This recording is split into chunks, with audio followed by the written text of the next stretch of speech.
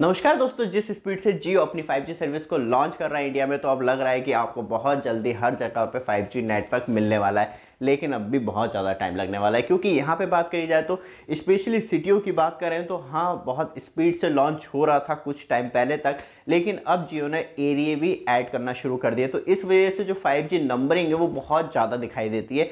तो फाइनली जियो ने अपनी ट्रू 5G सर्विस जो इंडिया में लॉन्च करी है, वो अब आपको दो सिटियाँ देखने के लिए मिलती हैं। और मात्र एक दिन में दस अप्रैल 2023 में जियो ने 202 सिटियाँ और ऐड की है। लेकिन तब ज़्यादा दिक्कत हो जाती है कि तब नंबर्स ऑफ़ सिटी इंक्रीज़ हो जाती है।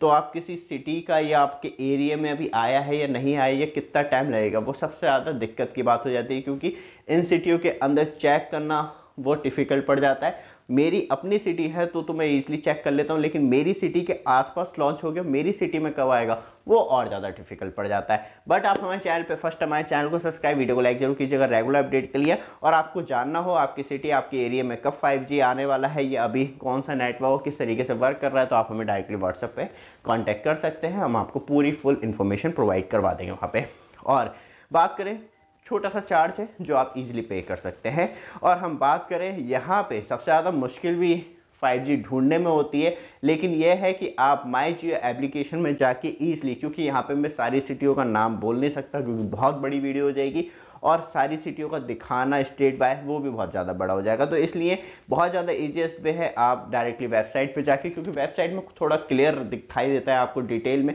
तो आप वेबसाइट पे चेक करते हैं तो वहाँ पे आप ज़्यादा अच्छी तरीके से समझ पाते हैं। बट आप माई जी एप्लीकेशन पर भी चेक करते हैं तो आपको कुछ इस तरीके से ही फॉर्मेट दिखाई देता है, जहाँ पर आप अपनी सिटी ऑफिशियल लॉन्च हुई है या नहीं हुई है वो ईजिली देख पाएँगे। ये वीडियो आपको अच्छी लगे, चैनल को सब्सक्राइब वीडियो को लाइक ज़रूर कीजिएगा। धन्यवाद।